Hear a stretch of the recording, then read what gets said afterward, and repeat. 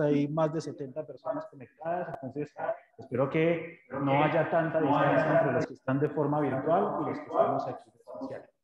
Eh, quiero presentarles hoy a César Mendajejo, fotógrafo del tiempo, y a Camila Díaz. Fotógrafa de.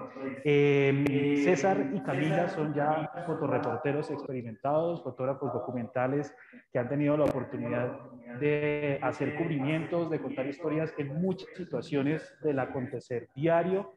Eh, han tenido la oportunidad de publicar sus trabajos, sus trabajos en medios muy, muy grandes, medios masivos. Camila, como fotógrafa de prensa, puede publicar sus imágenes en colombiano, en Caracol Radio, en la W, bueno, en fin. Y César, pues, como fotógrafo del tiempo, claramente tiene posibilidad de dar visibilidad a sus imágenes ahí.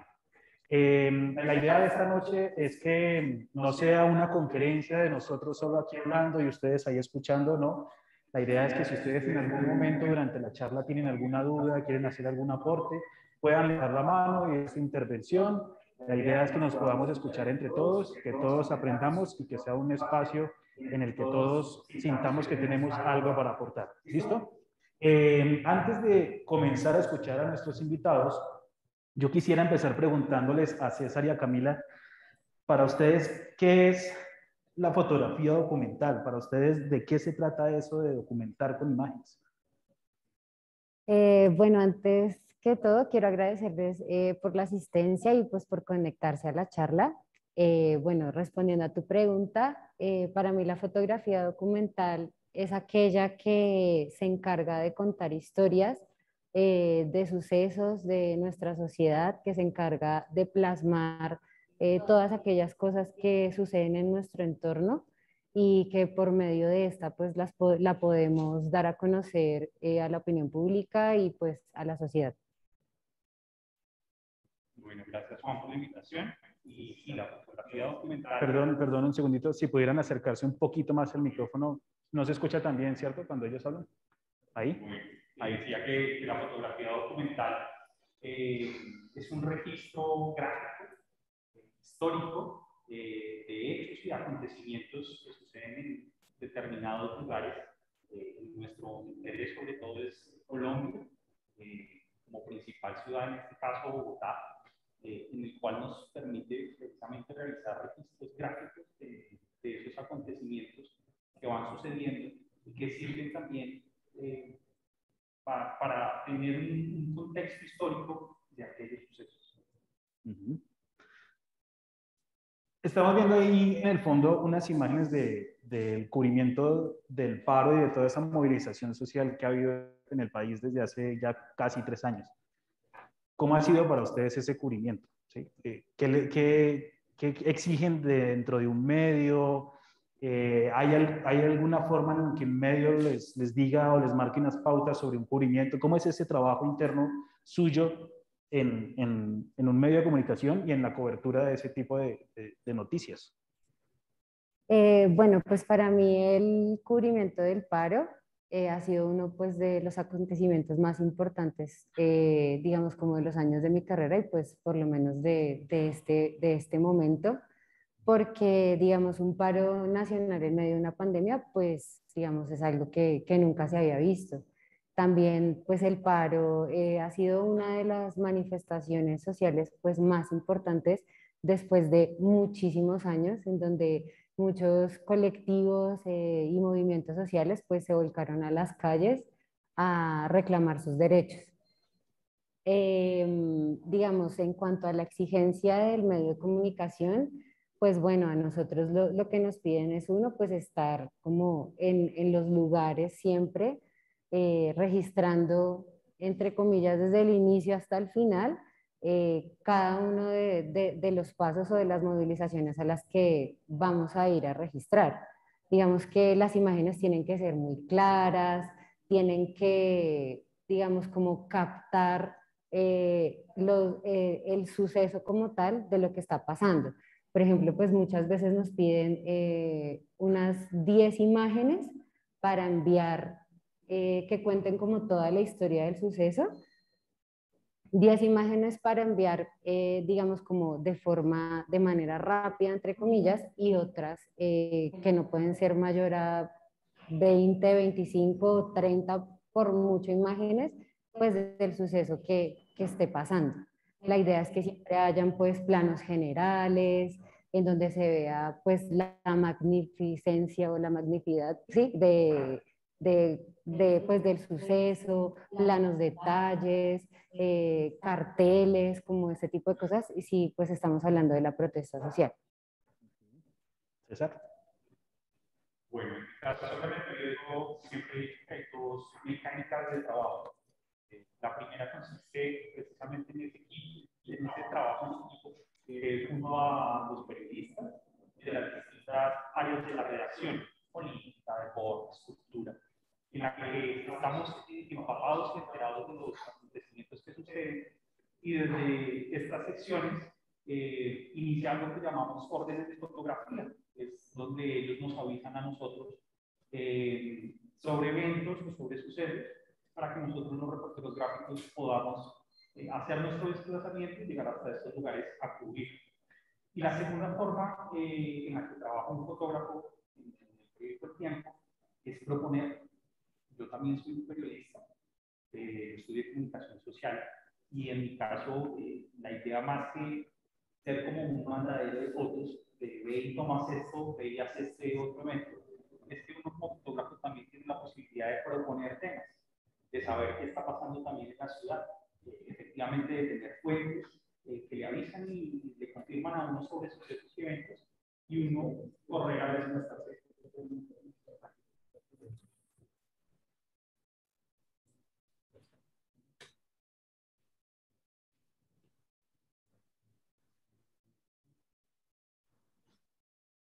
y correr hacia esos lugares eh, precisamente para llegar lo más oportuno y poder realizar esos registros gráficos.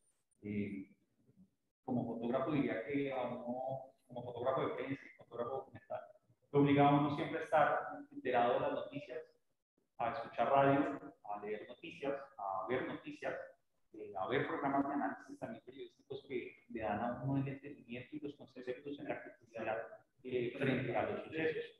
Y bueno, es como la forma en que trabajo para el Las fotos que estamos viendo en el fondo son fotos de Camila de, del cubrimiento del paro. Y yo quisiera escuchar, Camila, eh, no es muy usual, no es muy común la presencia de la mujer en, en la reportería, en, en, la fotografía documental, eh, y menos en este tipo de cubrimientos. ¿Tú qué, qué, crees que haya de diferente o, que puede haber como un plus o, un contra en el momento en que una mujer va a hacer este tipo de imágenes? Eh, bueno, pues digamos que ahorita, en este momento, ya se están viendo más mujeres que se atreven pues a salir a la calle y que se atreven a coger una cámara y se atreven a ejercer esta, esta profesión. Antes eh, éramos muy, pocas, ahora pues ya se ven mucho, muchísimo más. Eh, y pues bueno, de diferente creo que pues el ojo femenino es de pronto un poco más eh, como que va hacia el detalle, un poco más perspicaz, no sé, pues digamos que a veces de pronto no hallo como una diferencia uno de la otra, ¿sí? De, un hombre a una mujer, pero pues digamos, hablo pues en mi parte, eh, por ejemplo, pues no sé, las mujeres somos como eh, más detallistas, eh, captamos, estamos ahí como pendientes todo el tiempo al suceso, hay que ser muy arriesgado en esta profesión, cuando se sale a la calle, pues siempre se tiene que tener todas las medidas de seguridad y al mismo tiempo también estar uno muy atento a todo lo que pasa alrededor, porque pues pueden haber situaciones de riesgo, eh, todo ese tipo de cosas. La verdad, no, no sé, digamos, la diferencia como tal entre el hombre y la mujer, no lo pondría de esa forma, pero pues digamos que de cierta manera, pues lo único que sé es que ya hay más mujeres que se atreven a salir a las calles eh, que se han visto muy buenos trabajos de más chicas eh, haciendo fotografía documental y periodística. Digamos que, bueno, pues eh, durante el paro, por ejemplo, eh, a mí me pasó que no pude cubrirlo casi todo porque tuve una lesión en mi tobillo el primero de mayo porque un SMAT me lanzó una roca. Entonces duré 22 días incapacitada y pues la mayoría del paro no, no lo pude cubrir. Pero pues digamos que en los días que estuve pues traté siempre de, de, de ir a todas las convocatorias, de estar ahí súper presente. Eran unas caminadas súper larguísimas, digamos que en esto también de la reportería gráfica y de la fotografía documental uno tiene que ser muy paciente, muy persistente, eh, caminar mucho, indagar muchísimo, observar demasiado. A veces de pronto no, no es como documentar, si vas a caminar una hora, dos horas, tres horas, no es documentar de pronto todo el tiempo y obturar y obturar la cámara, sino mirar muy bien lo que está pasando a tu alrededor.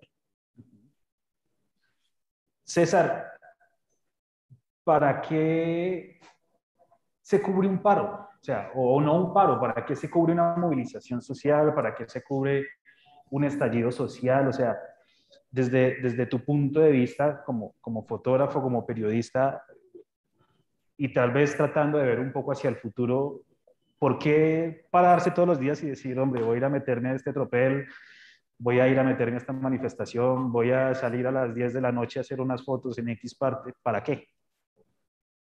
creo que a propósito de muchos de nosotros los fotógrafos.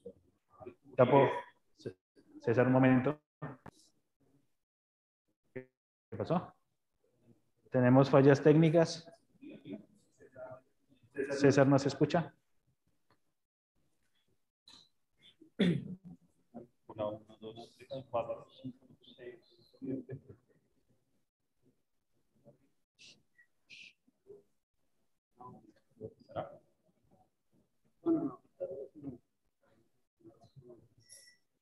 Ya, ahora sí. Hola, uno, dos.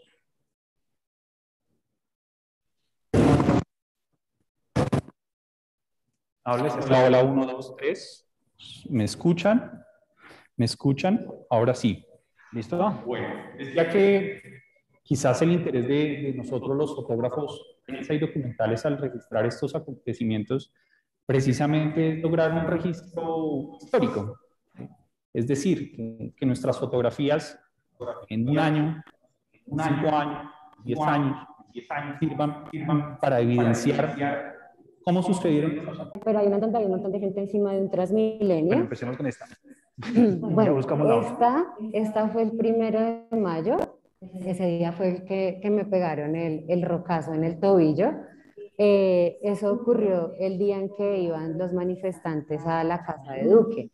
Eh, la manifestación se puso muy pesada, como hacia las, no sé, 3, 4 de la tarde más o menos.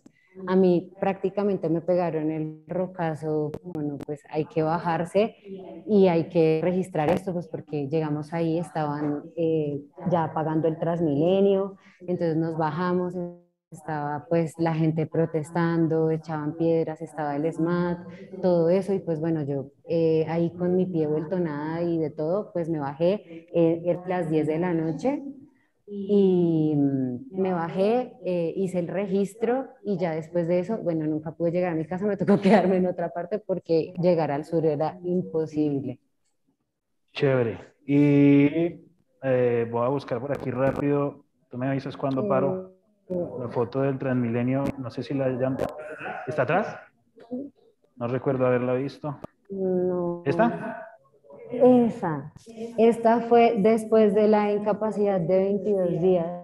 Eh, eso fue el 28 se cumplió un mes del paro nacional. Eh, sí, porque yo duré como 28 días incapacitada, 27 días incapacitada. Entonces, bueno, pues estaba, ya había un mes de paro, todo el cuento. Yo, esa, eh, las manifestaciones empezaron muy temprano, pero yo no pude salir por la mañana hasta que finalmente, pues bueno, logré salir y ya estaba todo el mundo, pues en el portal, en el portal de la Resistencia. Y cuando llegué casualmente, eh, yo pues, ya había pasado como la protesta dura en la mañana y yo dije como, bueno, pues al portal de pronto pues ya no encuentro nada y pues voy a mirar a ver qué, ¿sí? Llegué allá al portal y cuando me bajo del día, oh sorpresa, lo primero que veo es que venía el Transmilenio que habían tomado desde el portal Banderas, eh, venía con ese montón de gente colgada. Y entonces, pues claro, yo lo que hago es bajarme del taxi, de una empezar a obturar, obturar pues eso que estaba sucediendo, eh, se había vuelto pues viral, noticia en Twitter y en todo lado, pues empezaron a pedirme las imágenes, que si tenía imágenes de eso y pues digamos como que yo pisé un pie ahí en el portal de la resistencia y llegó el Transmilenio con, con este montón de gente. Lo, la, creo que la siguiente es la que se ve vandalizada. ¿Está? Ahí. ¿Está? Ajá, ahí es cuando llega, lo, lo entran al, al, portal de la resistencia y empiezan a, a, vandalizar el bus. Digamos que ahí llegué como en el instante preciso. Muy bien. Hay una pregunta acá. Yo siento una responsabilidad con los estudiantes y con la gente joven, pero también siento que no soy nadie para prohibirles nada ni para decirles que no deben hacer nada. Y alguien pregunta que si es conveniente tomar fotos en disturbios. Bueno, yo diría que desde, desde, el interés periodístico, que es el que en mi caso respecta, sí, al igual que muchos, más acontecimientos eh, sin un interés de morbo, ¿no? Eh, no es fácil, ¿sí? Y, de pronto a, a, mucha gente joven en la fotografía es un tema que la motiva y que la anima a salir a la calle a registrar los acontecimientos, en donde uno en su cabeza quizás eh, considera que, que, es plausible lograr registros de un poco de violencia, eh, de disturbio, de conflicto, ¿sí? y que gráficamente son llamativos. Pero sí, uno siempre corre un riesgo, ¿no? Y, y, y uno como periodista es consciente de esto, de a los lugares que entra, de las formas que entra, eh, pero creía que uno siempre como fotógrafo debe pensar es en el interés del por qué cubro estos temas, de por qué hago esto, ¿sí? Y con qué interés también tengo de divulgar estas imágenes hacia una audiencia, ¿sí? Mm, ganar likes, ¿sí? Informar periodísticamente. Bueno, cada quien tiene un interés, ¿no? Como periodista, siempre consideraré que el mío es informar a la audiencia, al país y, y bueno, al mundo sobre lo que sucede, pero uno debe pensar y minimizar riesgos, ¿no? No, no. hacer eso porque la adrenalina en estos momentos sí es, sí es muy, muy alta. Yo a veces creo que para nosotros este tipo de cosas se nos convierten casi como en una droga, ¿sí? Como que ya uno después de mucho tiempo sin que nada pase dice, bueno, cuando va a haber un tropel es porque estoy que me atropelé. Eh, pero siempre le digo a los estudiantes que si bien nada se puede prohibir, ¿sí? si bien uno no tiene esa autoridad, sí creo que hay un tema de responsabilidad y creo que sobre todo es un tema de responsabilidad con uno mismo. Yo la posición que tengo es que nosotros tenemos detrás un respaldo, bueno, malo, regular o como sea. Si a nosotros nos casca la policía, bien o mal, medio aunque sea, puede mandar una carta quejarse así no suceda nada o, pueden ir a nuestro rescate, la o tenemos una ARL o algo así. Usualmente las personas que están empezando, la gente del común, el fotógrafo que, que, todavía no es un profesional, sino que está en ese paso de ser un aficionado a ser un profesional, no tiene ese respaldo. ¿sí? O sea, si se dañan la cámara, ¿qué pasa? A mí, el día que mataron a Dylan, a mí me dañaron una cámara. Mm. ¿sí? A mí me le pegaron un ladrillazo a una cámara. Y conforme me le pegaron el ladrillazo, a mí Publimetro me dijo, tenga su cámara otra vez. ¿Sí? La cámara era mía. Eh, entonces nosotros tenemos ese respaldo. La gente usualmente no lo tiene. Entonces siempre le, le, le, dejo el mensaje o le dejo la reflexión a los estudiantes de, ok, cubrir disturbios tiene su parte agradable, es decir, se siente chévere se siente chévere hasta que uno le pegan la primera vez. A partir de ahí ya deja de ser chévere. Eh, tiene su parte emocionante, es verdad, pero, pero, ¿por qué me pondría en riesgo? ¿Por qué pondría en riesgo mi integridad física por una imagen? ¿Cuál es el beneficio para una persona que aún de pronto no vive de la fotografía o que quizás no tiene posibilidad de publicarla en un medio o que quizás sale realmente más buscando adrenalina que de, de meterse en una cosa tan seria? ¿sí? Uno siempre, o desde mi punto de vista, uno siempre ve esto muy jocoso hasta que por primera vez ve algo serio que sucede. Sí, o sea, nosotros hemos visto, alguna vez vimos un chico que le rompieron todo el cachete con un disparo del SMAT, el día que mataron a Dylan, eh, el, como les digo, el día que a uno mismo, a mí la primera vez que me asustaron en esto, me arrinconaron ahí en la séptima, cerca de la Torre Colpatria, me arrinconaron cinco policías a tomarle fotos a mi carnet, a reseñarme, y en ese momento uno dice, pucha, esto es en serio. ¿Sí? o en el momento en que uno publica una imagen y empieza a recibir comentarios, correos, amenazas y empieza a decirle a uno, empiezan a decirle a uno, ah, pues sí, le gusta mucho, entonces eh, hacer fotos de guerrilleros, siga tomando fotos de guerrilleros y lo vamos a dejar no sé cómo. En ese momento ya uno dice, ok, esto es en serio. Entonces, mi reflexión siempre a las personas que, que tienen interés en cubrir estas cosas es, ¿vale la pena de verdad arriesgarse tanto por una fotografía? Cuando seguramente hasta una fotografía de un pajarito puede llegar a ser más, más interesante o más vendedora o pegar más duro, no sé. Entonces, esa es mi, mi reflexión. Y yo quiero agregar otra cosa y es que, bueno, pues eh, como tú dices, pues uno no puede obligar a nadie a decirle no vaya o sí vaya, pero pues en dado caso de que, bueno, si evalúan todas estas cosas y deciden salir, pues háganlo con toda la responsabilidad del caso. Y es que tengan eh, responsabilidad hacia los cuerpos de ustedes y su integridad. Entonces salgan con equipos de seguridad. Eso también tiene un costo adicional, pues que cuando uno es freelance eh, debe asumirlo.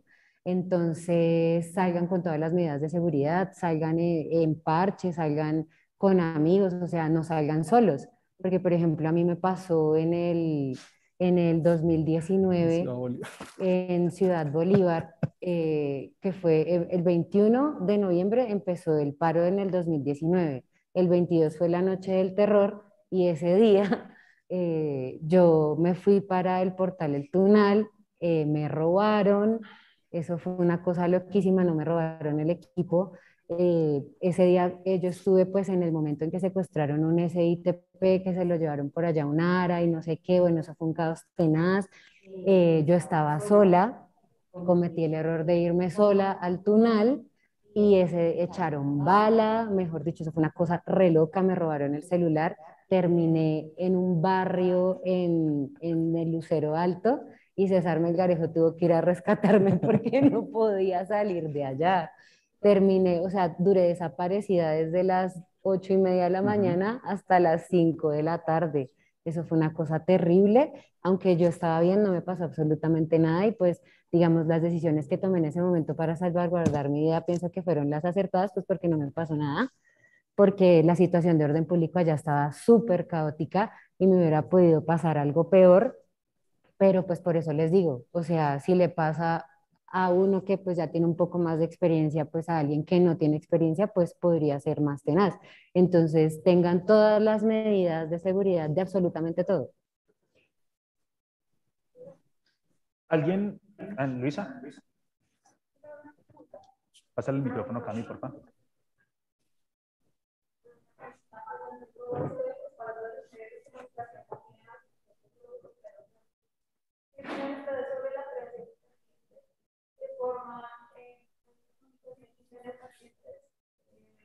Sale. Más que todo, pues como más Ah, perdón, creo que Luisa no se está escuchando en la... Ah, ok, listo. Listo, ya les repito a los que están en línea la pregunta de Luisa.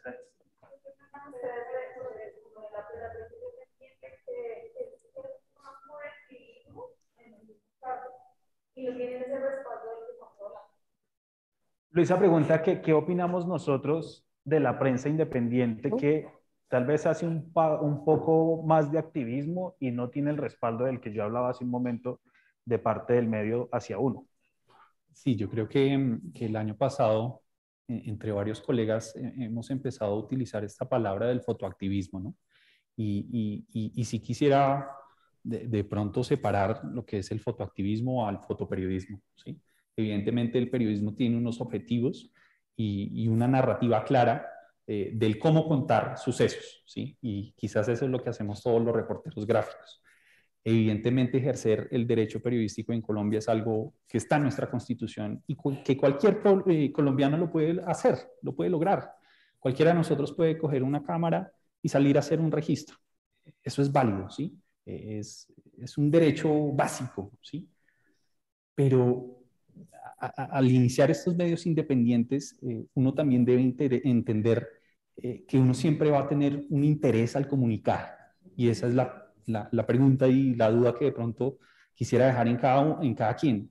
Cuando yo hago mis fotografías, ¿sí? tengo un interés. ¿Cuál es el de ustedes? ¿sí?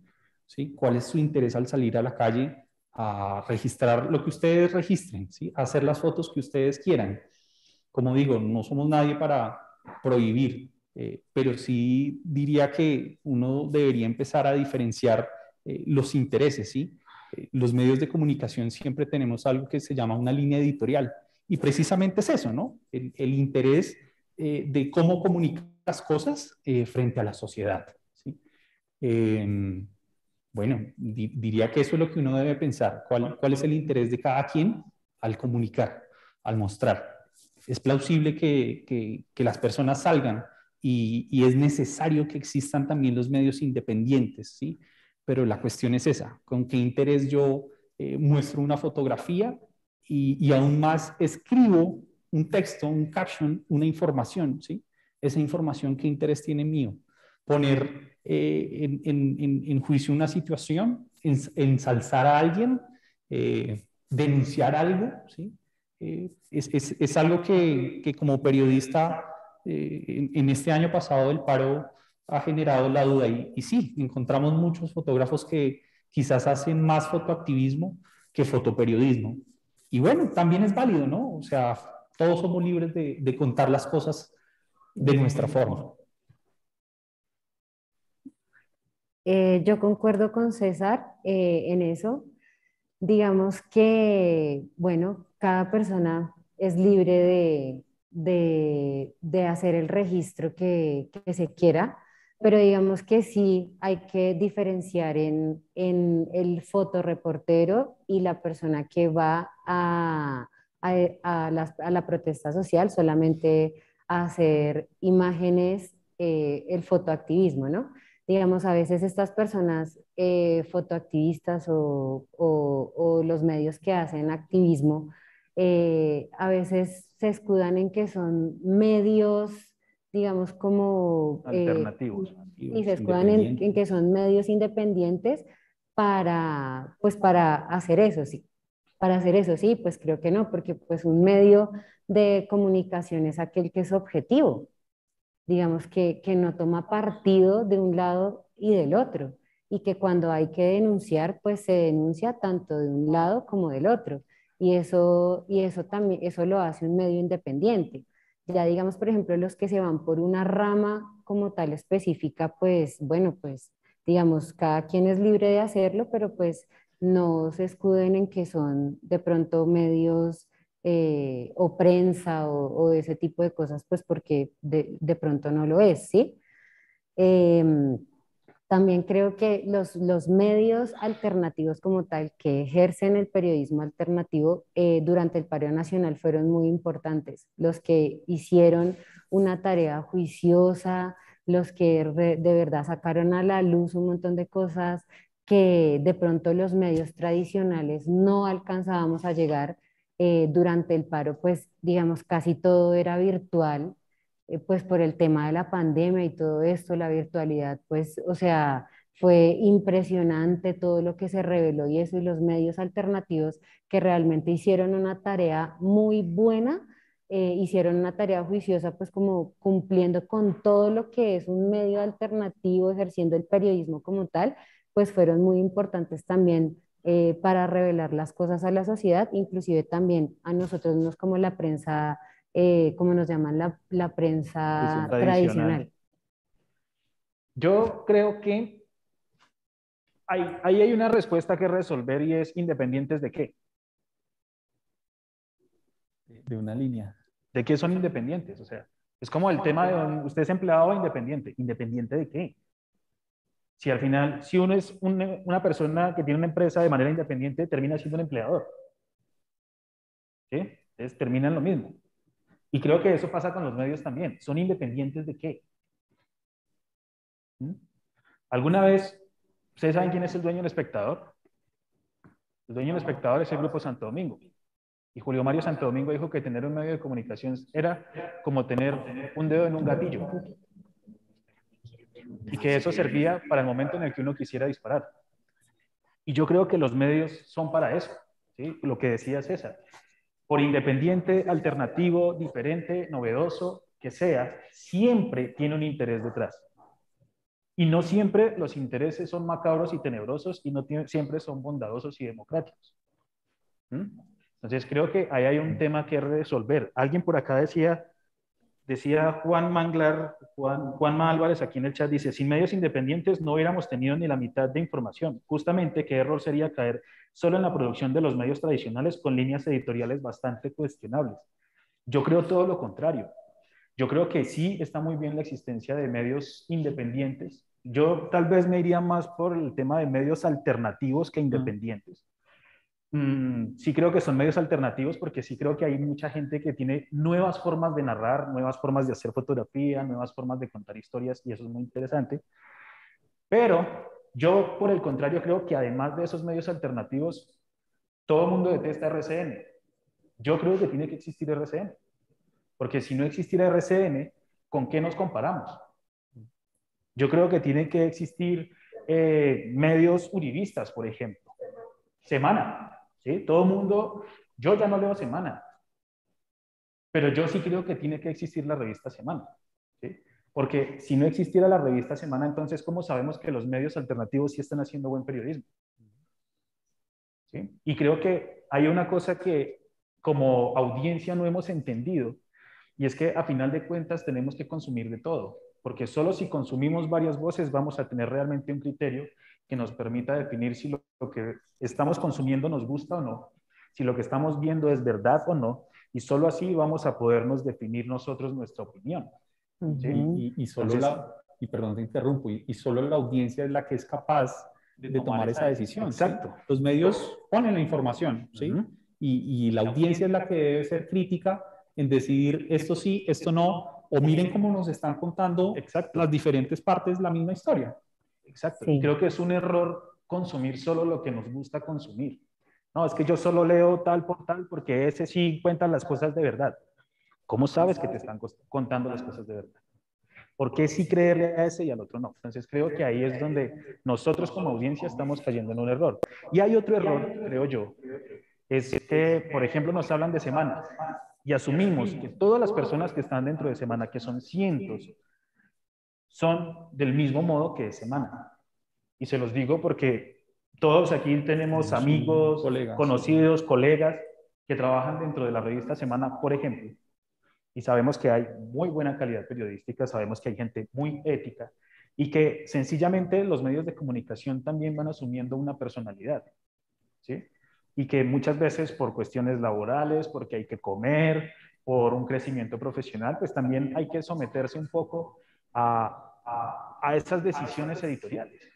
Y que en gran medida uno como reportero, como periodista, como documentalista, tiene la opción de decir, me acojo o no me acojo. Pero no necesariamente todo lo que sucede es macabro, todo lo que sucede es planeado, no, no, no necesariamente es el 100%. así. ¿Alguien por aquí tenía una pregunta?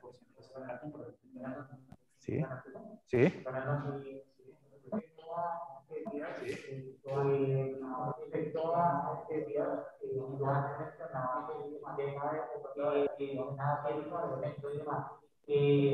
Quiero saber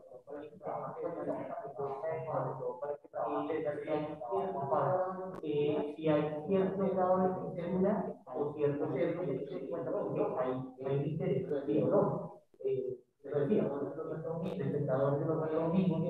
obviamente ciertos sesgos políticos, sentir ustedes eh, esa censura no pudieron con. Bueno, ¿cómo es tu nombre? Andrei.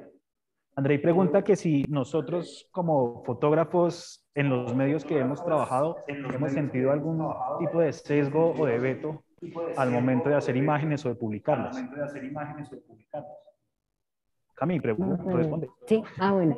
Pues, digamos, eh, en Colprensa no, para nada, en absoluto. En Colprensa nosotros, pues, al ser una agencia de, de noticias, digamos que hablo de la parte en la parte fotográfica, pues nosotros tenemos la total libertad de, de proponer lo que nosotros queramos, cubrir lo que pues a nosotros nos parezca pertinente, obviamente pues primero eh, justificando el por qué eh, hacemos esa propuesta periodística para salir a cubrirla, eh, pero digamos que no, no tenemos como una restricción como tal que nos hayan dicho, no, es que eso no, porque tal cosa no, la verdad, tenemos como toda la libertad de, ir a los cubrimientos y de publicar las fotos que nosotros queramos, o sea, digamos, en, eh, de pronto a veces hay un poco de censura en, el, en la parte cuando se trata de niños, ¿sí?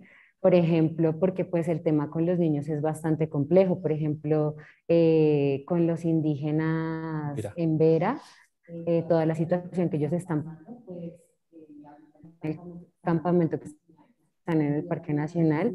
Yo fui a tomar unas imágenes allá, eh, la situación estaba muy complicada y pues, digamos, la población de los Embera, es eh, más del 80% son niños.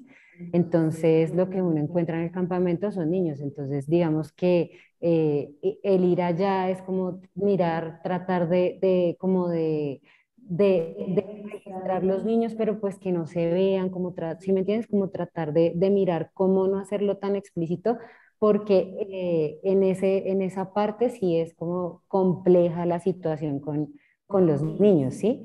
Entonces, digamos, eso ha sido como lo único que yo no lo llamaría censura, sino más bien respeto hacia, hacia unas personas, hacia unos niños, ¿sí? que pues digamos que no se puede andar como publicando fotos eh, gore o ese tipo de cosas. De resto, no, la verdad, eh, tenemos como la total libertad. Bueno, en mi caso personal, eh, yo este año ya completo 10 años con el periódico y te diría que no, no he sufrido nunca eh, de una censura y, y, también de algo que existe que es la autocensura, ¿no? Que hasta uno mismo puede, puede hacerlo. Eh, te diría que al contrario, sí, evidentemente mi, el periódico para el que trabajo tiene una línea editorial, ¿sí? Eh, sé que es un medio em, oficialista, ¿sí? Que sé que tiene una narrativa frente a, lo político, a lo, a lo gubernamental, em, pero algo que me deja de moraleja, por ejemplo, el, año pasado del paro, es que en redes sociales no sufrimos nosotros eh, de lo que llamaría como el, bullying eh, mediático eh, al tener de pronto un error en titulación, ¿sí? en un lead, en una nota hacia una línea que de pronto moleste a la sociedad, como quizás de pronto sí lo tuvieron medios televisivos y al contrario, te diría que es un medio que hoy en día se preocupa mucho por corroborar la información, que también es algo que los medios debemos hacer, ¿sí? Ah, pero ¿por qué no sacan esta noticia rápido? Mire, ya está aquí en Twitter. Ya está aquí en Twitter. Confírmelo. ¿Eso sí pasó así? Si es como me lo dice Twitter, si es como me lo dice la persona que está escribiéndolo en Facebook, pero mire el video, confírmelo. Y nosotros como periodistas también debemos tener esa capacidad de decirle a la sociedad, espere, las cosas de pronto no son así como las vemos en redes sociales y en redes sociales todos podemos comentar, todos podemos generar nuestra opinión, ¿sí? Pero ese es el papel de los medios y, a eso voy. Eh, eh, el, periódico, digámoslo, en, en, estas fechas siempre tiene esos retos, ¿sí? de, de, saber mediáticamente la gente cómo lo lee, cómo lo mide eh, y de también nuestra visualización en, redes, cómo se mueve. Eh, y precisamente te diría, no, tuvimos como ese percance eh, por esa capacidad periodística de, confirmar y corroborar datos, por más de que la sociedad pueda publicar lo que quiera en las redes sociales. Y, y esa es también una responsabilidad de nosotros los medios. Eh, en, en, el caso personal, en mi forma de trabajo, como te decía, no he tenido censura. Yo soy la persona que selecciono mis propias fotografías, ¿sí? sé lo que envío al medio, eh, entrego un caption de información, un texto, eh, en, en, el que yo mismo soy el que explica cómo están eh, comportándose las situaciones, ¿sí? en qué lugar son, qué es lo que está pasando, qué fecha, cuál es el tema, ¿sí? Eh, y en el medio se publican, se divulgan, ¿sí? Se, se, muestran de la forma en que yo como periodista eh, en terreno está registrando los hechos. Entonces, por mi parte, no ha sucedido. Yo también nunca, no solo en Publimetro donde trabajo ahora, sino donde siempre he tenido la oportunidad de publicar, nunca. Lo que pasa es que, estoy muy de acuerdo en algo que dice César y es que la gente confunde el, el veto con tal vez serenar la cabeza. ¿Sí? A mí todo el tiempo me llegan correos de personas que quieren publicar fotos en Publimetro. Ah, mire, es que yo hice tal cubrimiento y quiero saber si ustedes me publican las fotos, papá, papá, papá, papá. Y si yo le respondo a una persona, no, mira, no nos interesan las fotos, la historia no está chévere o las fotos no están buenas, la persona no va a decir, ah, ok, no me publicaron en Publimetro, hay algo por mejorar. No, va a decir, Publimetro me está vetando. Es que Publimetro no quiere contar lo que yo tengo para decir. Y eso es una forma en la que la gente confunde el tema de, de, de, del veto. ¿sí? Eh, las redes sociales todo el tiempo piensan en caliente. Todo el tiempo piensan en caliente. Yo creo que el trabajo de los medios de comunicación es pensar en frío. ¿Sí? El trabajo de nosotros es que por más que tengamos la cabeza caliente en una situación de estas, tenemos que serenarnos y decir, ¿vale la pena fotografiar eso? Y si lo fotografiamos, ¿vale la pena publicarlo? ¿Estamos faltando a la verdad si publicamos eso? ¿O estamos faltando a la verdad si publicamos eso de esa manera? Y como las redes sociales son tan calientes, si uno se detiene a pensar de esa forma, el usuario digital usualmente dice, ah, es que si ve, no quieren contar. Muchas veces nosotros hemos visto en redes, en Twitter, no, se prendió en la Nacional. La Nacional. Y entonces uno ve las fotos y ve los videos y dice, pues pucha, se prendió en la Nacional. Y llega uno al sitio y realmente o hay muy poco o no. ¿Sí o no? Sí. sí.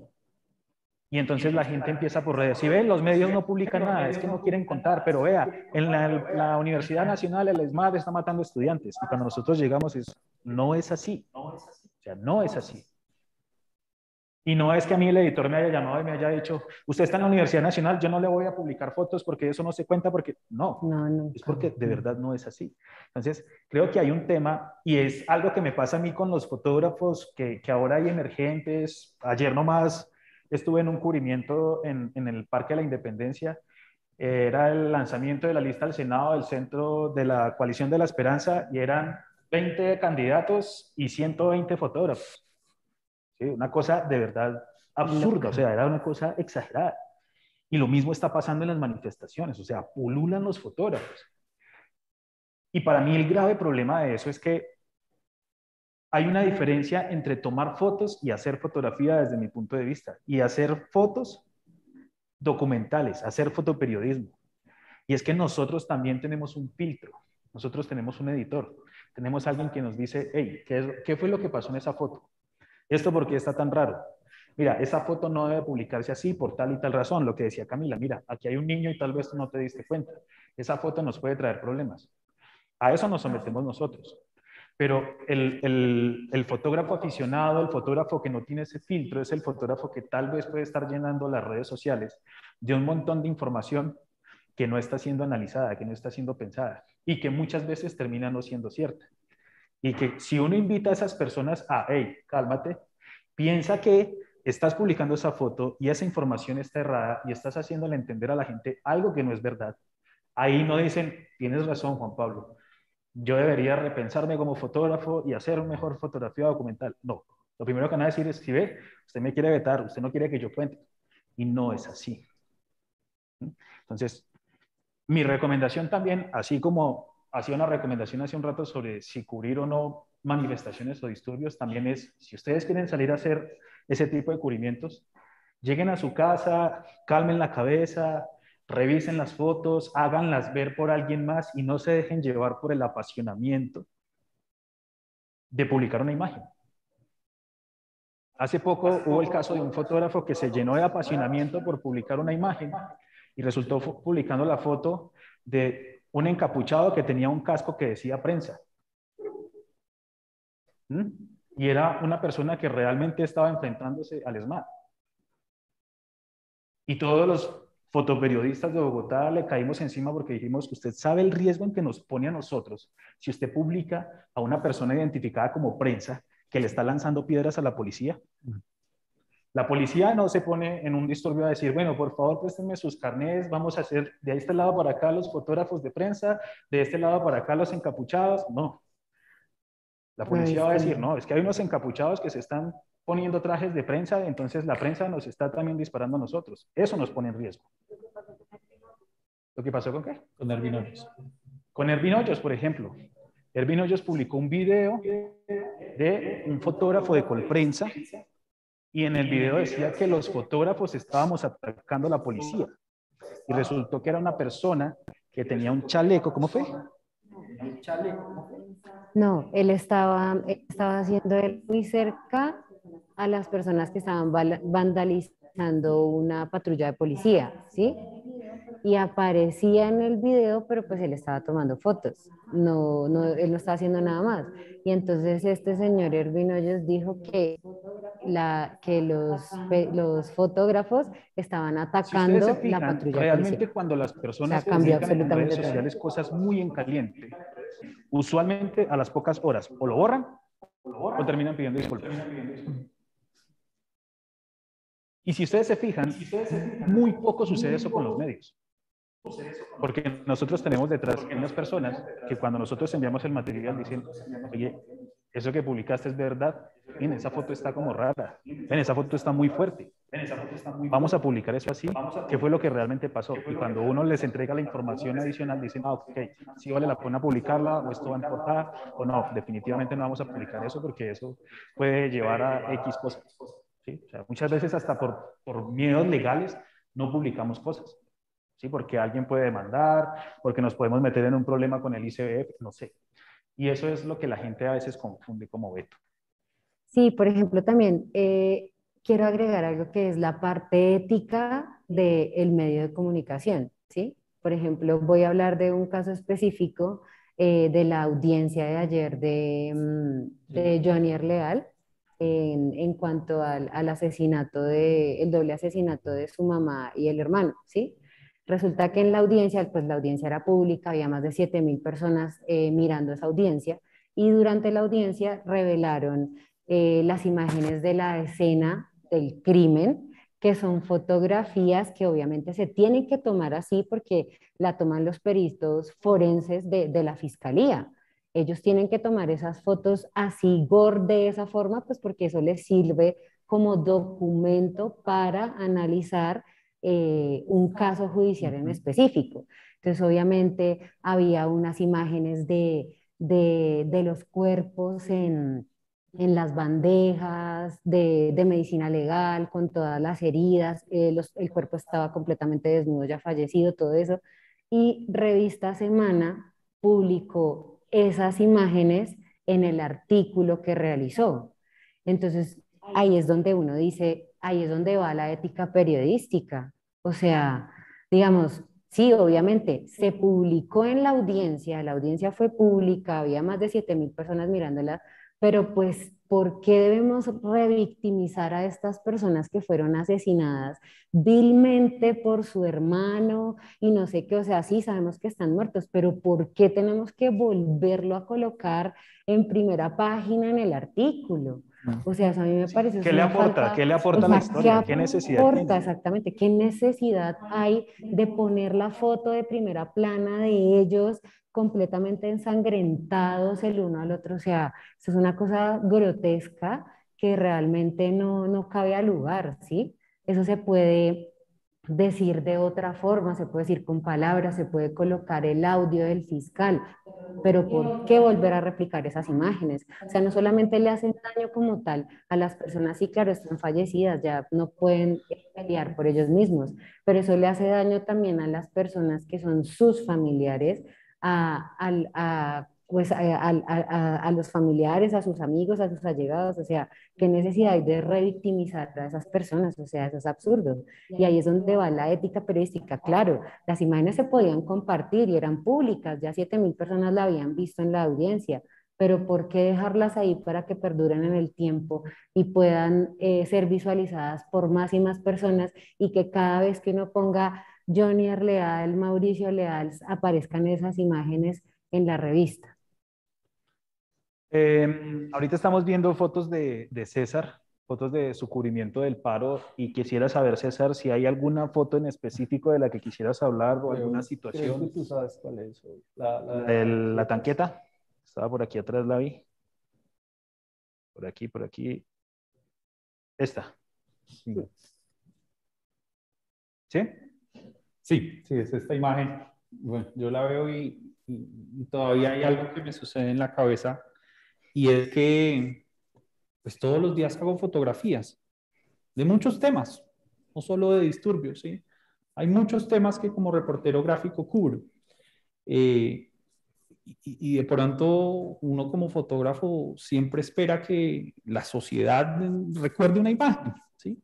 Pero uno como fotógrafo pues se encarga día a día de fabricar imágenes y, uno no sabe cuándo llega el momento eh, en que una imagen le gusta a la sociedad y empieza a ser viral y se empieza a divulgar en redes sociales y se mueve de una manera mediática pues, pues interesante para mí, ¿no? Em, bueno, explico un poco el contexto de la imagen. Esto fue más o menos hacia las doce y media de la noche en inmediaciones del portal Américas, en Bogotá. Unos disturbios que inician aproximadamente hacia las 10 de la noche, algo que en cuanto a los años que llevo cubriendo disturbios en Bogotá, me parece distinto, raro ver, ver unos enfrentamientos de noche, que evidentemente en temas de luz son bastante complicados eh, también por seguridad es difícil moverse a estas horas. Eh, al lugar, pues obviamente yo con más colegas de prensa. Eh, para, para, este cubrimiento hemos tomado como esa decisión de ir acompañados, ¿sí? de, de saber como el respaldo que, que, tú también puedes contar con una persona que te pueda ayudar en cierto momento. Y recuerdo mucho en esta fotografía que estaba al lado de dos colegas. El, el, el personaje que, que, entra en acción eh, a soportar con un escudo improvisado, pues la presión de, del chorro de agua de la tanqueta hace esta acción en repetidas ocasiones. Entra la tanqueta, se hace mucho más adelante de la primera línea que pues en, en el cuadro no decido incluir, sino hacer precisamente como esa comparación de, del cómo hay algo más grande ¿sí? y de cómo hay una persona que resiste. Y de pronto esa es la palabra. y, y también el, el, por qué la imagen cobra de pronto eh, ese interés y esa divulgación mediática.